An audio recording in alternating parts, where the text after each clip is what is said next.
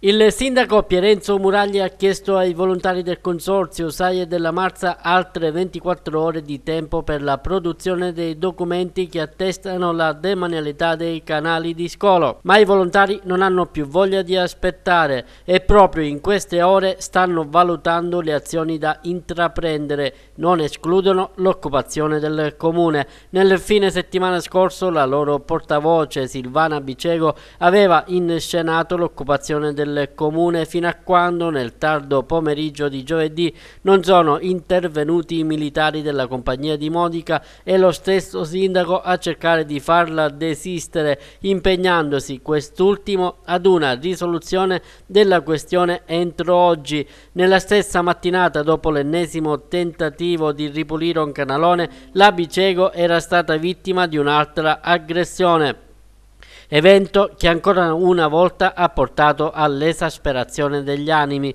I volontari dicono di essere stanchi di aspettare una risposta che attendono da troppi anni. Dall'altro lato l'ente rappresentato nello specifico dal commissario straordinario Bellisario sembra sposare la causa dei volontari, ma si attende che da un punto di vista della documentazione tutto sia in ordine prima di intervenire. Insomma, per oggi si prevede un altro, l'ennesimo braccio di ferro sui canaloni della Marza.